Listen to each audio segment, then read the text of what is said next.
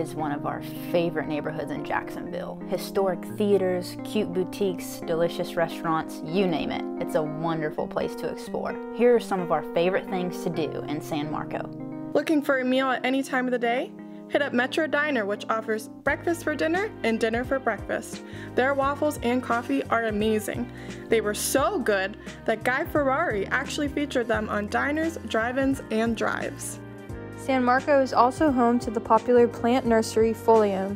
They offer carefully curated and rare plants perfect for any room in the house.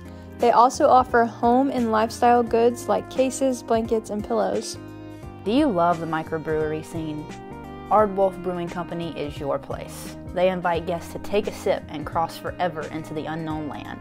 They have inspirations from all over the world, including Belgian Pale Ale, South Bank IPA, Vienna Lager, White Russian, and so much more. Taverna is next on our list. They offer authentic inside ingredients, craft beer, fresh produce, and house-made fettuccine pasta.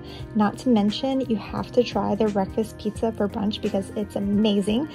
Plus, they have an award-winning wine list as well as cocktails and local brews, so be sure to check out their happy hour. Head over to Good Dough for dessert. Their donuts are handmade from scratch multiple times a day, ensuring everyone gets the freshest options possible. Get flavors like cardamom sugar vanilla, butterscotch, bacon, and even cosmic brownie. Built in 1938, San Marco Theater is a local treasure. USA Today even recognized it as one of the best classic cinemas remaining in the US.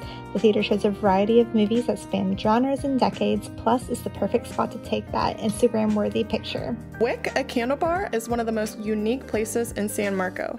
Guests are invited to make their own custom candle with a huge variety of scents that they can select from. Chocolate, coffee bean, sugar cookie, you name it, they have it. And this isn't even a fourth of what you can do in San Marco. There's so much to do here. This place is amazing, and we hope to see you there.